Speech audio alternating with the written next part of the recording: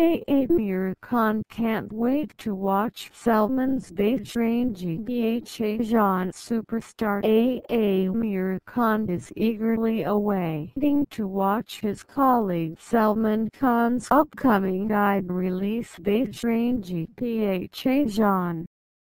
The 50-year-old actor who shared screen space with Salman in the 1994 cult comedy Andaz Apna Apna, took to Twitter to share the excitement.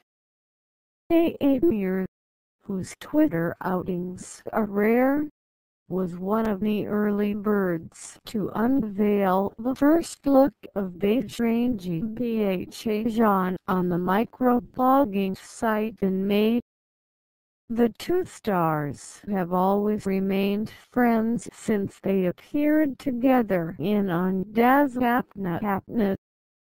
Bajrangi Bhaijaan also stars Kareena Kapoor Khan, Nawazuddin Siddiqui and child artist Harshaali Malhotra.